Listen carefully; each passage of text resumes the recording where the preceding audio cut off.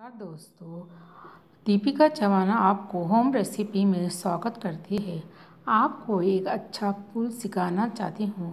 उसका नाम मैंने रखा क्रीमी ड्रीमी पूल उसके लिए चाहिए orange fresh juice one cup cold pineapple fresh juice one cup cold, apple fresh juice one cup cold, powder sugar seven tablespoon, milk four cups cold, milk cream 150 grams cold glucose 2 teaspoon dry fruit cherry and dry grapes उसके करने की विधि में बताना चाहती हूँ। उसकी को अच्छी तरह मिक्स कीजिए और ड्राई फ्रूट्स ऊपर से डालकर सर्व कीजिए और मेरे चैनल को सब्सक्राइब कीजिए और सबको खिलाइए पिलाइए और खुश कीजिए मेरे रेसिपी से। Thank you